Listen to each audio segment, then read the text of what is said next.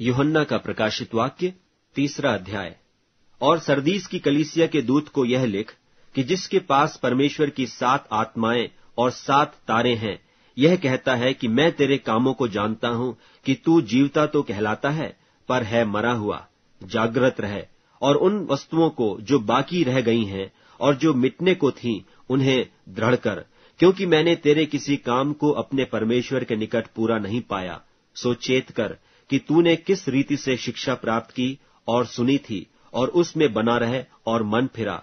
और यदि तू जागृत न रहेगा तो मैं चोर की नाई आ जाऊँगा और तू कदापि न जान सकेगा कि मैं किस घड़ी तुझ पर आ पड़ूँगा। पर हाँ, सरदीस में तेरे यहाँ कुछ ऐसे लोग हैं जिन्होंने अपने अपने वस्त्र अशुद्ध नहीं किए। वे श्वेत वस्त्र पहने हुए मेरे साथ घूमेंगे, क्योंकि वे इस योग्य हैं। जो जय पाए, उसे इसी प्रकार श्वेत वस्त्र पहनाया जाएगा, और मैं उसका नाम जीवन की पुस्तक में से किसी रीति से न काटूँगा, पर उसका नाम अपने पिता और उसके स्वर्गदूतों के सामने मान लूँगा, जिसके कान हो वह सुन ले कि आत्मा कलिसियाओं से क्या कहता है।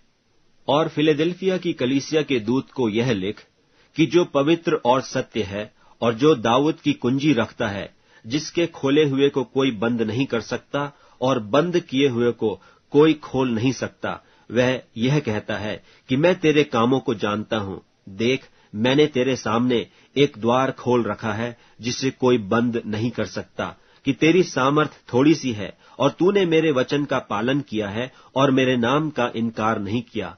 देख, मैं शैतान के उन सभा वालों को तेरे वश में कर दूँगा जो यहूदी बन बैठे हैं, पर है नहीं। बरन झूठ बोलते हैं। देख, मैं ऐसा करूँगा कि वे आकर तेरे चरणों में दंडवत करेंगे और यह जान लेंगे कि मैंने तुझसे प्रेम रखा है।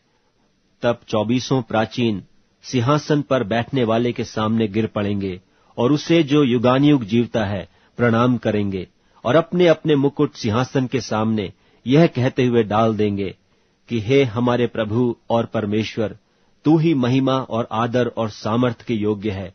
क्योंकि तू ही ने सब वस्तुएँ सृजी और वे तेरी ही इच्छा से थीं और सृजी गईं।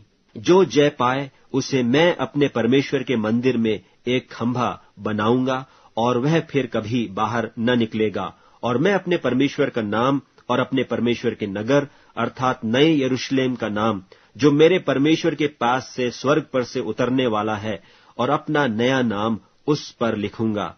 जिसके कान हो, वह सुन ले कि आत्मा कलीसियाओं से क्या कहता है। और लौदीकिया की कलीसिया के दूत को यह लिख कि जो आमीन और विश्वास योग्य और सच्चा गवाह है और परमेश्वर की सृष्टि का मूल कारण है, वह यह कहता है कि मैं तेरे कामों को जानता हूँ कि तू न तो ठंडा है और न गर्म। भला होता कि तू ठंडा या गर्म होता।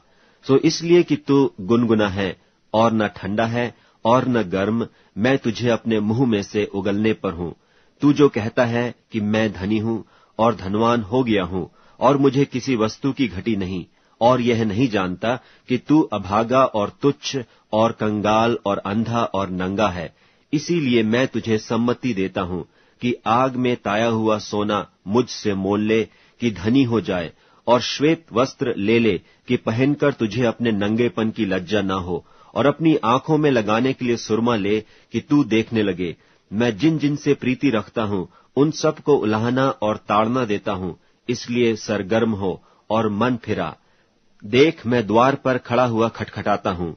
यदि कोई मेरा शब्द सुनकर द्वार खोलेगा तो मैं उसके पास भीतर आकर उसके साथ भोजन करूँगा और वह मेरे साथ।